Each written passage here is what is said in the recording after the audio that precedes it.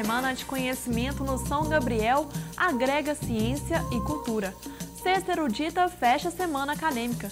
E no estúdio saiba mais sobre o lançamento de um livro infantil com muita poesia. Começa agora o Espaço PUC, você por dentro do que acontece na universidade.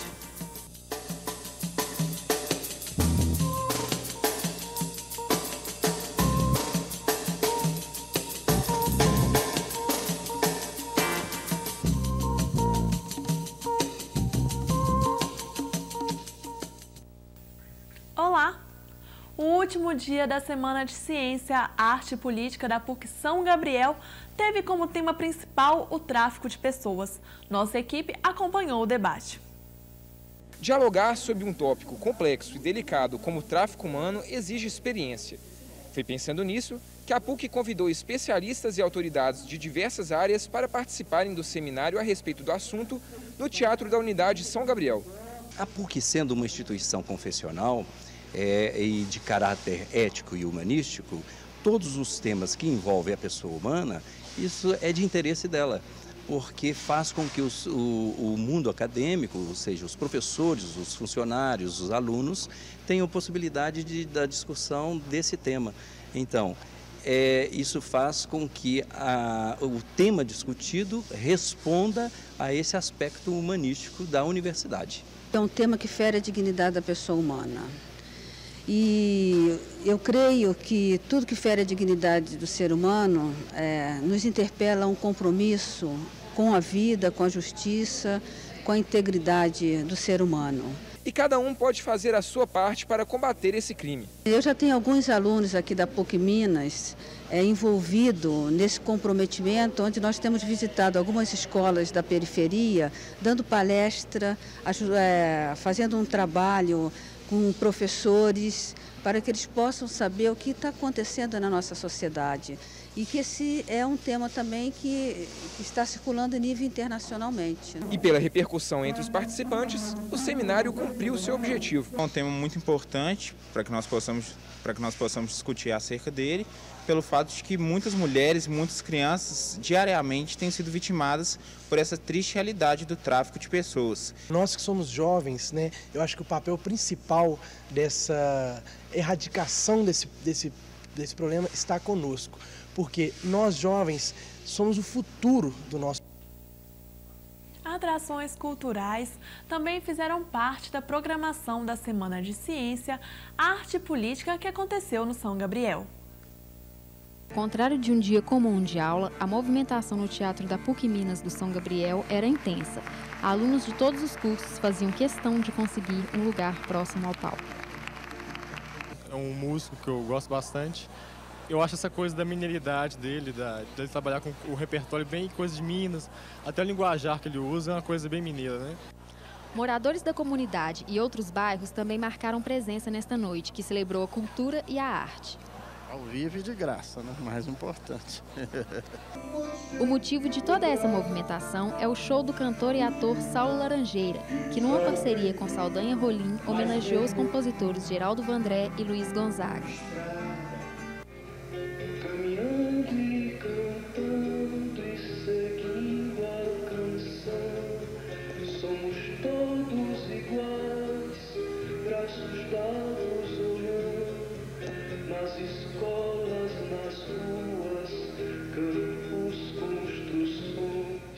O show já passou por oito cidades mineiras e faz única apresentação na PUC São Gabriel.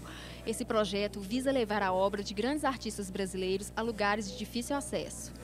A Semana de Ciência, Arte e Política, ela quer, na verdade, fazer com que o aluno ele se desloque é, da, da sala de aula e comece a pensar justamente num plano maior do que, que é o, o verdadeiro ensino e educação uma oportunidade única de conhecer parte do rico repertório que compõe a música brasileira.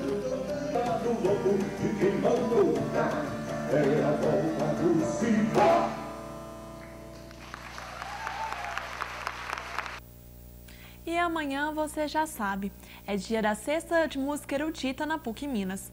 A atração dessa semana é o concerto da Banda Sinfônica da Escola de Música da UENG, às seis da tarde no Auditório 3, prédio 43. Não deixe de conferir. O cotidiano das crianças, o convívio entre irmãos. É com esta temática que vem aí Trililili Paralelar, um livro que traz muita poesia infantil. A nossa convidada de hoje é a autora do livro, do livro Francirene Gripe. Vamos saber um pouco mais sobre essa edição que vai ser lançada no próximo sábado. Francirene, seja muito bem-vinda ao Espaço PUC. Muito obrigada. Francirene, eu queria que você contasse como que foi, como que deu a origem desse livro. Bem, a origem desse livro é, é parte do meu, da minha vida paralela de poeta. Além de professor, eu sou poeta nas horas vagas. Então, eu já tenho outros livros de poesia, algum um para adulto, escrevo para adulto, e de vez em quando também poemas infantos juvenis, vamos dizer assim. É, então, e quando eu me tornei avó, é, eu comecei a, a brincar com.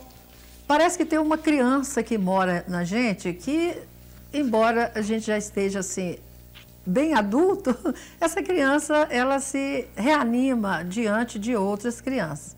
Então, na convivência com esses netos, os poemas vieram, ah, os impulsos da escrita surgiram dessa forma.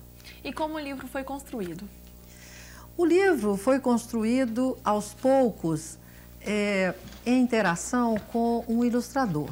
Eu tenho um amigo que é publicitário no Rio de Janeiro e gosta muito de literatura e ele tinha a intenção de se experimentar como ilustrador de livro infantil. Então, é, quando eu mostrei para ele, para ele os poemas, ele gostou muito e perguntou se poderia fazer algumas ilustrações. Eu achei assim as ilustrações dele maravilhosas. Então surgiu essa parceria. Presidente, dá uma palhinha assim, o que, que a gente pode esperar deste livro? Olha, o livro não tem assim muitas pretensões além de curtir para as crianças, curtir junto com as crianças algumas das situações que ele traz, que são situações do cotidiano infantil, na sua relação com a mãe, com, com o pai, com o avô, com o coleguinha, é a chegada de um novo irmãozinho, é o afeto com entre amigos, de amigos, né, de colegas, é a roupa nova. Então, são brincadeiras, são momentos né, desse flagrante da, da vida cotidiana, é o xixi na cama, é, por aí vai. São poemas que tanto podem ser lidos por crianças de 5, 6 anos, como 8, 9, 10, é, principalmente porque também eles têm uma construção assim, é, horas são miúdos, são pequenos, são, tem quatro, cinco versos, é, em seguida tem seis, oito, e depois são poemas um pouco mais longos, né? E eu acredito que com isso eu tenha, nós dois, eu e o ilustrador, tenhamos construído um, um livro, um objeto de, que será de interesse para as crianças. Francisine, eu queria que você contasse um pouquinho quando vai acontecer este lançamento. Pois é, o livro será lançado sábado, né, dia 1 na livraria Leitura, é Meg Store, lá na, no BH Shopping. Então, a partir das 11 horas, estarei lá é, recebendo os amigos e os amantes da literatura e da poesia. E onde é, as pessoas poderão encontrar este livro? Lá mesmo na leitura ou comigo, se desejarem adquirir. Lá na leitura ele está sendo vendido por R$ 29,80 e a partir de sábado estará à disposição. E você também vai realizar encontros com crianças, como você já... Ah, sim. É. O livro foi realizado é, graças ao patrocínio da Lei de Incentivo à Cultura da Prefeitura de Belo Horizonte. É? Ele, como conteúdo, ele já existia, já, já está fazendo quase três anos que o trabalho estava pronto. Mas agora, só agora que o objeto livro se concretizou, graças a essa verba né, é, da lei de incentivo. E aí entra um pouco também da minha vivência de, de professora de textos né, acadêmicos, porque eu mesma fiz o projeto, preparei o projeto para apresentar aos examinadores da, da prefeitura, né? Eu mesma defendi o meu livro. então, é isso aí, o, o Trililili Paralelar, que tem, não tem nenhuma intenção didática, é uma intenção apenas de curtir a poesia, os momentos agradáveis da conviv de convivência com criança. E você sempre, você sempre foi, é, foi poetisa, né? Mas escreveu para públicos diferentes. Qual Sim. foi a principal diferença em escrever para crianças? Olha, você sabe que eu não, eu não me imaginava escrevendo para crianças. Eu, eu não sabia que eu tinha essa capacidade, não. Agora eu estou certa que sim. Porque, inclusive, alguns poemas já foram li, lidos por algumas crianças do, da minha convivência, né? Mesmo os meus netos, que são os musos inspiradores, né? É o Arthur, o Gabriel, a Valentina, que talvez até estejam me assistindo agora, né? Então, eles leram, gostaram e Outras crianças também, filhos de amigos meus, também gostaram muito, né? Então, isso me deu uma, uma autoconfiança, né? E a, a escolha do público-alvo é, vem de momento? Neste caso, sim. Ela foi motivada por essa forte relação de avó, vamos dizer assim, não é? Mas... É, em outros momentos é, é, diferente, acontece de outra forma. Eu vou parar para fazer um texto reflexivo, ou mesmo um poema reflexivo. Né? De qualquer forma, sempre. É, não sei se ainda podemos dizer de inspiração, mas eu, acho, acredito, eu acredito que sim, que exista a inspiração. Claro. Ela sempre movida, ela sempre acontece a partir de um elemento externo, né? De uma comunicação entre você, seu, seu, sua percepção interior e alguma coisa que está fora de você. Interno, né? É. eu agradeço muito sua presença aqui no Espaço PUC e deixamos aí o convite para o lançamento que acontece ah, muito neste obrigada, sábado, né? eu que agradeço e vai ser um prazer ter leitores para o Trililili Paralelar. Qualquer eh, contato, Aqui na PUC, estou às ordens, nós temos o nosso e-mail aqui, meu e-mail acadêmico é francirene.pucminas.br e o contato do livro é o nome do livro, arroba hotmail.com. Muito obrigada, Francirene. O Espaço PUC fica por aqui. Mande sugestões para o e-mail espaçopuc.pucminas.br. Nós estaremos de volta na segunda-feira, porque amanhã é dia de bate-papo musical. Marcos Figueiredo recebe a banda Local Z. Eu te espero na segunda, às 5h30 da tarde, com reprise às 8h30 e às 10h30 da noite. Um bom fim de semana e eu te espero na segunda-feira.